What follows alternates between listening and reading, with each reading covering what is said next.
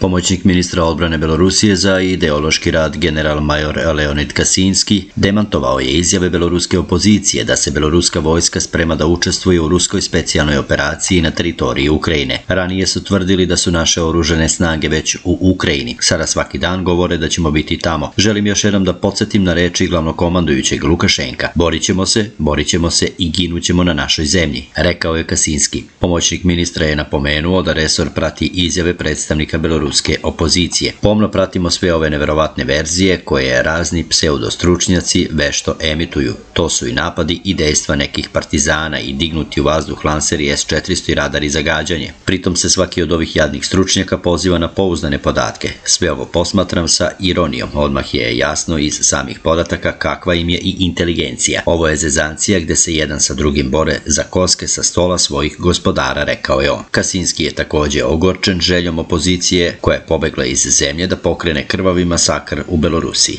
Predsjednik Belorusije Aleksandar Lukašenko je ranije više puta rekao da beloruski vojnici i vojna tehnika ne učestvuju u neprijateljstvima u Ukrajini i da Ruska federacija ima dovoljno vojnog osoblja za sprovođenje specijalne operacije.